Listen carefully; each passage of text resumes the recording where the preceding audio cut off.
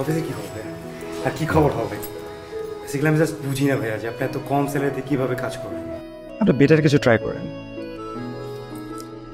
রনি তাহলে বসো মা। ওদেরকে আপ্যায়ন করো। আমার তো অফিসের সময় হয়ে গেছে আমি আসি। Sure. ঠিক আছে? তুমি করো মারিয়ে আছে থাকো রনি। এই গেট লাগিয়ে দাও।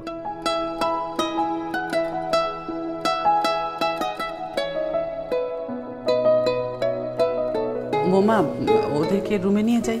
দীপা তোমরা রুমে যাও আমি রান্না বাড়া করছি। ভাবি রুমটা কি পরিষ্কার করা আছে? হ্যাঁ মা একদম পরিষ্কার করা আছে। তুই কোনো চিন্তা করিস না।